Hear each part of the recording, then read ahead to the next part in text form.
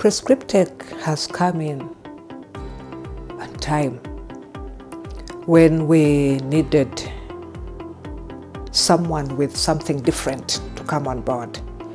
When we came to Kakumiro district, in the five facilities we are working, there was no screening whatsoever.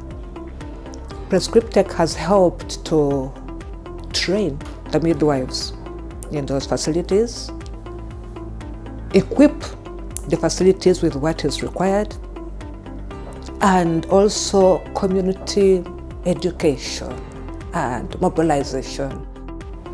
In the communities, in the rural communities of Kakumiro district, we motivate the women. First of all, we mobilize them through radio and the different channels we are using to get messages to them. Uh, we also reach them through v village health teams, the VHTs, who are based in the communities that are healthy. the members of the health system that are based in the grassroots of the community. And that's how we, we are able to mobilize women, sensitize them, and then they are able to decide and make a choice to take the self-test.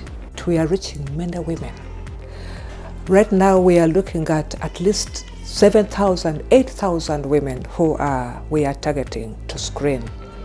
And we are using this new approach, the HPV test. With PRESCRIP-TEC, the test is being taken to the doorsteps of the women. Very convenient, so they are happy. Not only that, they have to collect the swab themselves. They are testing themselves. So it kind of empowers them.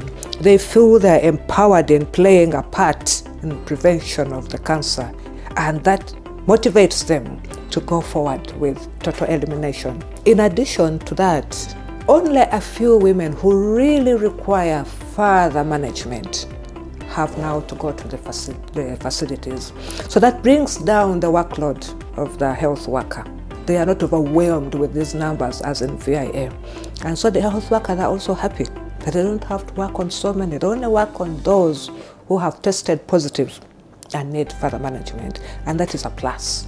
Now, what the community liked most was not only bringing the HPV to their doorsteps, but using their own, the community health workers. These are the people they live with, the people they work with, they believe in, and not us. So using the community health workers was the biggest plus to the entire program.